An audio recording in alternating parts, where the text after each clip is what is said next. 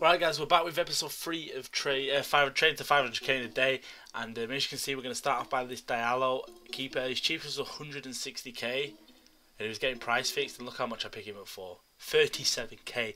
This is an absolutely ridiculous deal. But yeah, if you want to buy coins, make sure you go to UFIFA. Link will be in the description down below. Use discount code to get 5% off as well. And yeah, you can smash over 100 likes. That'd be absolutely sick. If you missed any of these, I'll leave the playlist on the in the description. If I forget, just go on my channel and have a look. As you can see, we listed up for 96k and he actually sold, and I was getting a bit excited and flicking the stick about. But we're on 100k. and then we've won one player as well. And the player that we've won is going to be this Inform Ighalo that we got for 65k. And he actually looks really, really good. I mean, he's got good stats all around. We get for 65k. We can actually list him up for around 84k, 84,500, which is a nice deal as well. And um, was looking at that Okati there that we actually did win for 79k. And the cheapest at the time, I think, was 90k. I think it was 90k. So I listed it up for 89. I think it, I think I do anyway. No, I actually listed him up for 94k because of the chemist has got Max on which makes his price go a little bit higher. Come back, both them are on 132k, which is not bad for three episodes, I suppose. Um, and then we're going to pick up this Jose Fonte, South Southampton centre back for 64k.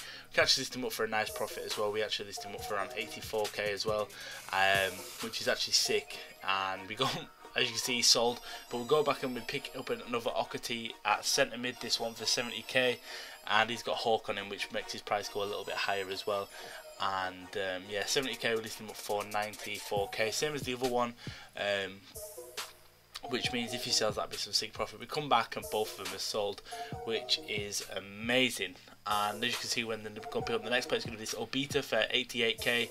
Traded with him before and trained to a team in the Messi, which will go up again probably tomorrow or maybe even Monday. I'm not too sure yet. Depends if you want to see a video on all the methods that I've been using. But as you can see, we listed him up, and then when we come back, we've actually bidded on another player, and that player is Fabricio. I think it is this Spanish keeper. We get him for 35k. I think the next cheapest was around 50k, so we list ours up for around 45k. No, 48k. We actually list ours up for, which is sick profit is profit. That's a nice 10k profit there. We come back, both of them are sold, which is sick. So we're moving on to the silver inform trading now. And yeah, if we can pick up some nice deals, it's going to be sick. As you can see, we get Cruz for 29k, and he's getting price fixed. So I listed mine up at 50k and when we come back you can see that he did actually sell for that which is amazing. Absolutely sick deal. And then we come back and we got an Austin for 186k and I think we can list him up for around 250k 250 that's that's a sick deal.